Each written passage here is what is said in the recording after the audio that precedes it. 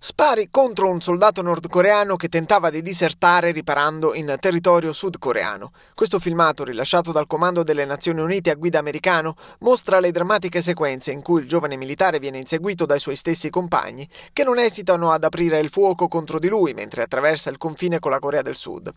È accaduto il 13 novembre del 2017 nei pressi di Panmunjom, un villaggio al confine tra le due Coree. Gli inseguitori, sulle tracce del loro ex commilitone, hanno superato la la frontiera di diversi metri prima di arrendersi e tornare indietro, mentre il disertore, seriamente ferito, veniva soccorso dai soldati sudcoreani. L'episodio ha fatto molto discutere in un clima già di crescenti tensioni tra Corea del Nord e Stati Uniti. Il comando americano delle forze ONU che controlla il confine ha accusato Pyongyang di aver violato con lo sconfinamento l'armistizio del 1953. Il soldato disertore è stato colpito per quattro volte nella sua disperata fuga, ma se l'è cavata. Ora è ricoverato in un ospedale della Corea del Sud.